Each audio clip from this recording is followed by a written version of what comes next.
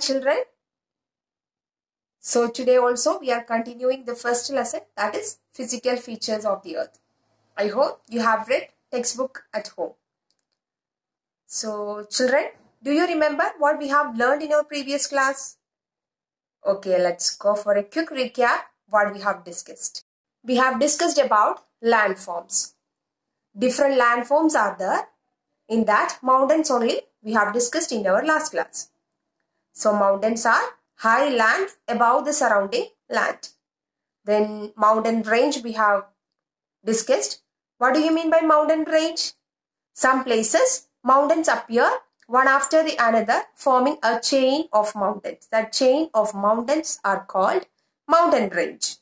Then the highest mountain range is the Himalayas. That much we have learned. Today also we are going to deal another landform that is pass. Have you heard about that term children? Passes are a gap or a break between mountain ranges. It provides people path along the steep mountain ranges. What do you mean by pass? It is a break or a gap between mountain ranges. Okay. Nathula is a famous pass connecting India and China. What do you mean by pass? It is a break or a gap between mountain ranges. Okay. So mountain ranges means two or three mountains join together like a form of chain. That is mountain range. Pass means a break or a gap between mountain range. So pass is another type of landform. Another type of landform is plateau. What is the spelling of plateau? P-L-A-T-E-A-U. That is plateau. Plateau is a flat-topped landform that rises sharply from the surrounding land. The Tibetan plateau in the Himalayas is the highest plateau in the world. So plateau, what do you mean by plateau? It is a flat-topped landform rises sharply from the surrounding land like a table-like land. Okay, which is the highest plateau in the world? The Tibetan plateau in the Himalayas is the highest plateau in the world. It is also known as the roof of the world.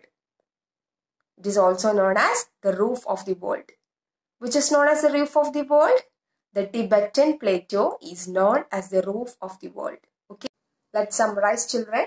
So today I have started with pass. Pass is a break or a gap between mountain range. Passes provide people a path through steep mountain ranges. Then Nathula is a famous pass connecting India and China. Then we have discussed about plateau also. Plateau is a flat-topped landform, rises sharply from the surrounding land, like a table-like land. Then which is the highest plateau in the world? Yes, the Tibetan plateau in the Himalayas is the highest plateau in the world. It is also known as the roof of the world. This much we have discussed. Next day also, I will continue with landforms. Okay, read textbook thoroughly. I am winding up today's class. Thank you. Have a good day.